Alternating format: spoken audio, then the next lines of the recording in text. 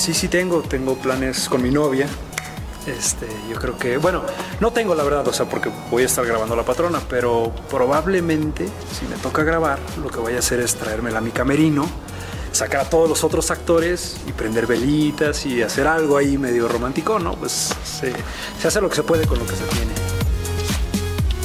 A mí me seduce el coqueteo, pero me seduce el coqueteo discreto, no así que lleguen y ay, me encanta así, órale, te agarren, no, sino que sea poco a poco, así, cuando dos personas se gustan y están cerca y no se lo dicen y poco a poco se van acercando y tal vez se acercan sus bocas, no sé, todos esos momentitos de tensión es lo que, lo que me gusta, lo que disfruto.